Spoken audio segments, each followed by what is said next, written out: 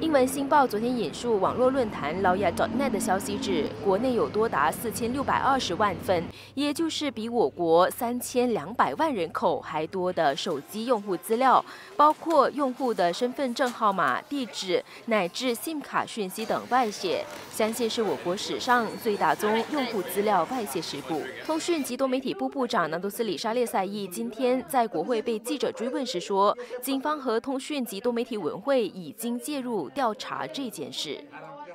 Pihak MCMC dan polis sedang menyiasat perkara ini.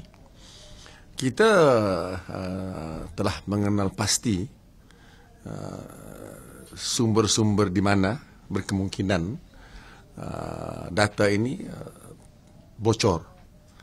Uh, dan sudah tentulah kita akan mengambil tindakan-tindakan uh, secepatnya untuk menyelesaikan perkara ini.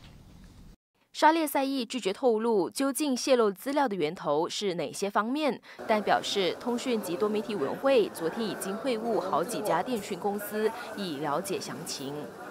Oleh kerana kita mempunyai hak ta untuk lindungi data pribadi kita, tetapi apabila ini berlaku, maka kita harus mengambil tindakan secepatnya. Dan saya harap sungguh dalam sedikit masa lagi kita boleh selesaikan perkara ini. Kita dua perkara ya. Pertama, sumber mana?